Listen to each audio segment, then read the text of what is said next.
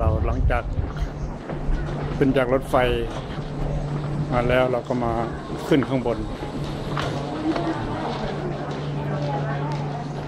เพื่อที่จะไปรับกระเป๋า